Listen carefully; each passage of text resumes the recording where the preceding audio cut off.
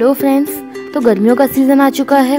तो हम लोगों को कुछ ऐसी डिश बनानी चाहिए, जो खाने में हमें रिफ़्रेशिंग लगे और जिसे बनाना भी इजी हो और साथ ही साथ हमारा डाइजेशन भी अच्छे से हो जाए।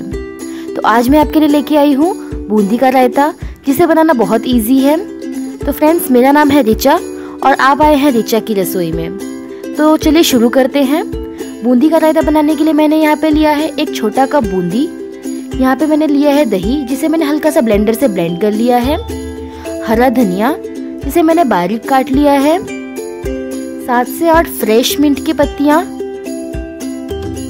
जीरा, जिसे मैंने तवे पे ड्राई रोस्ट कर लिया है। काला नमक व्हाइट सॉल्ट और छोटे पिंच लाल मिर्च पाउडर यहाँ पे मैंने पानी लिया है, जो एकदम चिल्ड है। और यहाँ पे मैंने खाली बोल लिया है, जिसमें हम रायता बनाएँगे। सबसे पहले हम एक छोटे बोल में दो कप पानी गर्म करने रख देंगे। याद रहे, हमें पानी को बॉईल नहीं करना है, हमें पानी को सिर्फ़ हल्का सा गुनगुना करना है। आप उंगली डाल के टेम्परेचर को चेक कर लीजिए एक बार, और पानी एक बार हल्का गुनगुना हो जाए, इसके बाद हम इसमें बूंदी ऐड कर लेंगे। गर्म पानी में बूंदी डालने से क्या होगा, बूंदी के अंदर जो भी एक्सेस ऑयल या जो भी इम्प्योरिटीज़ है, वो सब पानी में आ जाएगी, और हमारी बूंदी एकदम फ्रेश हो जाएगी। आपको बूंदी दिखा देती हूँ। बूंदी एकदम सॉफ्ट हो चुकी है, इसलिए अब हम इसे स्ट्रेनर में स्ट्रेन कर लेंगे। पहले मैं मिक्सिंग बोल में दही ऐड कर लूँगी। मैंने दही को हल्का सा ब्लेंडर से ब्लेंड कर लिया है, जिससे कि दही का टेक्सचर बहुत ही स्मूथ आता है। अब मैं इसके अंदर ऐड कर लूँगी वाइट सॉल्ट फिर हम इसमें ऐड करेंगे लाल लाल मिर्च। हमें लाल मिर्च बहुत ही थोड़ी सी यूज़ करनी है। हमें रायते का कलर रेड नहीं करना है बिल्कुल भी। अब हम इसमें ऐड कर लेते हैं काला नमक। काला नमक डाइजेशन के लिए बहुत ही अच्छा होता है।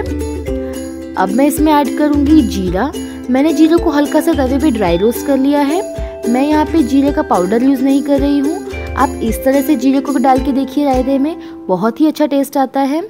मैं जीरे को भून के अपनी हथेलियों के बीच में इसको क्रश करके इसके अंदर ऐड कर लूँगी। जब हम रायता खाते हैं, तब उसके अंदर जीरे के जो पीसेस मुँह में आते हैं, उससे बहुत ही अच्छा टेस्ट आता है। और जीरा जो डाइजेशन के लिए भी अच्छा होता है। अब मैं इन सभी चीज़ों को मिक्स कर लूँगी अच्छे से। आप इसके अंदर पानी डाल के ऐसी कंसिस्टेंसी एडजस्ट करिए। वैसे रायता ना ज़्यादा गाढ़ा अच्छा लगता है और ना ज़्यादा पतला।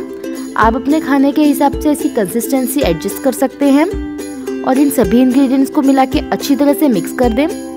रायता बनाने के और भी बहुत सारे तरीके हैं, लेकिन ये तरीका मुझे सबसे ईजी लगता है। और हमारे यहाँ पे रोज़ गर्मियों के टाइम में लंच में रायता सबको पसंद है खाने में। अब मैं इसमें ऐड कर लूँगी फ्रेश मिंट लीव्स मैंने यहाँ पे मिंट लीव्स को अपने हाथों से इसे क्रश करके ऐड करा है। इससे बहुत ही अच्छा टेस्ट आता है। जब जो मिंट लीव्स मुँह में आते हैं, खाते समय रायते, बहुत ही रिफ्रेशिंग होती है। कम्प्लीटली ऑप्शनल है। अगर आपके पास मिंट लीव्स अवेलेबल है तो आप इसमें ऐड करिए। अदरवाइज़ आप इसे स्किप कर सकते हैं। हम इसमें डाल लेंगे कटा हुआ हरा धनिया। थोड़ा सा धनिया हम रख लेते हैं, जिसे हम गार्निशिंग के लिए यूज़ करेंगे। और सभी इंग्रेडिएंट्स को अच्छी तरह से मिक्स कर देंगे। अब हम इसके अंदर ऐड कर देंगे जो हमने बूंदी स्ट्रेनर में निकाल के रखी थी। आप देख सकते हैं, हमारी बूंदी बहुत ही सॉफ्ट है। अब आप इसको रायते में ऐड कर दीजिए और इसे हल्के हाथों से मिला लीजिए।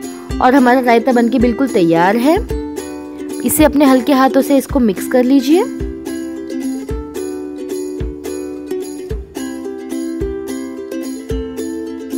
हमारा रायता बनके बिल्कुल तैयार है। मैंने रायते को ग्लास में सर्व कर लिया है। आप इसे ग्रीन कोरिएंडर डाल के गार्निश करें। और पर्सनली ये मेरा ऑल टाइम फेवरेट है। इवन मेरी फैमिली को भी ये बहुत पसंद है। हम लोग इसे रोज लंच के टाइम गर्मियों के सीज़न में बना के खाते हैं।